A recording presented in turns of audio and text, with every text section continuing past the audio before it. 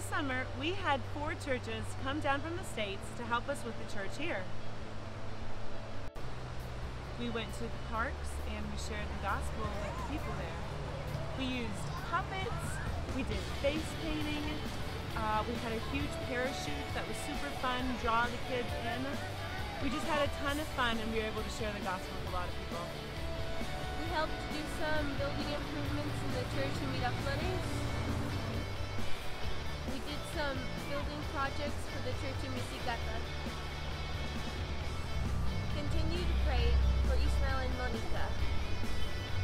God has allowed us to spend more time with them and, and start evangelistic Bible studies.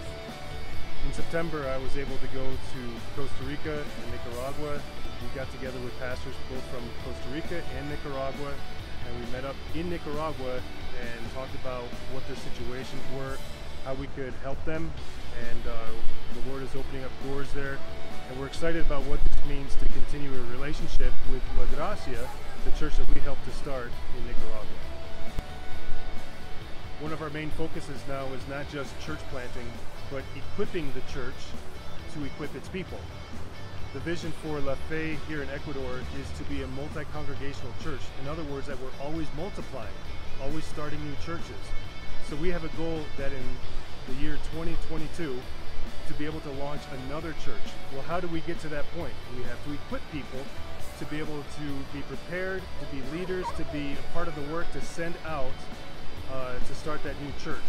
So in September, uh, just a couple weeks ago, we we launched we launched a training for La Fe uh, here in Cuenca, but this is also happening up in Quito. It's happening in Costa Rica.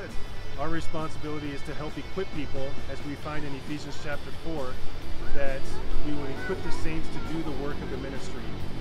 Thank you for praying for us. Please stay in touch.